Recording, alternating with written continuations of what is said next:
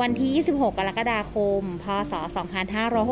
2565 นายปีชาทองคำรองผู้ว่าราชการจังหวัดสุพรรณบุรี